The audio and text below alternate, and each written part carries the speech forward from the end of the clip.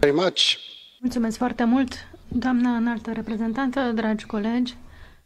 Astăzi aș vorbi despre viitor mai ales, pentru că trebuie să facem toate eforturile necesare ca să ne asigurăm că sirienii au un viitor.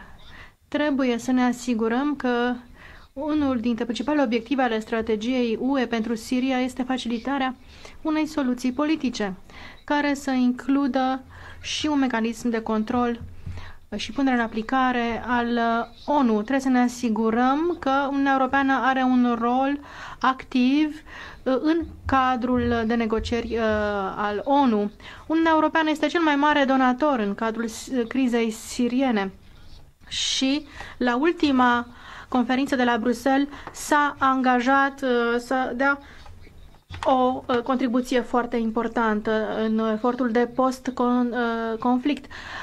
Doamnă Mogherini, trebuie să vă angajați personal pentru ca Uniunea Europeană să-și respecte obligațiile, să aibă un rol mai activ în negocieri și să ne asigurăm că vom avea o tranziție echitabilă pentru sirieni.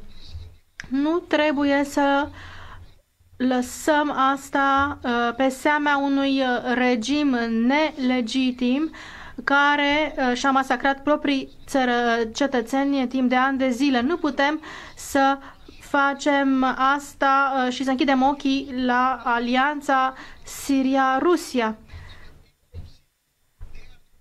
Opoziția, reprezentanții poporului sirian sunt cei care trebuie să fie ajutați dacă dorim ca această țară să aibă un viitor. Chiar și acum, după groaznicul accident uh, chimic de la uh, Sheikun, uh, civilii sunt în continuare ținta atacurilor și încetarea focului a fost de atâtea și atâtea ori pusă la încercare.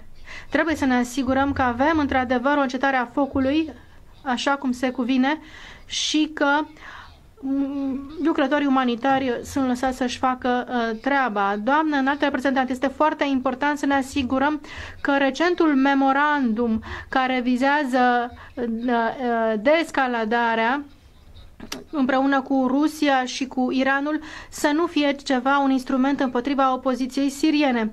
Și în final vreau să mai spun ceva.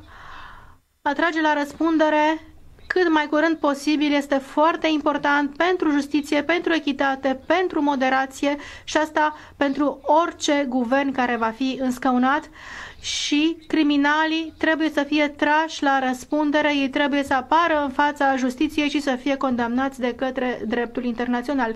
Vă mulțumesc foarte mult!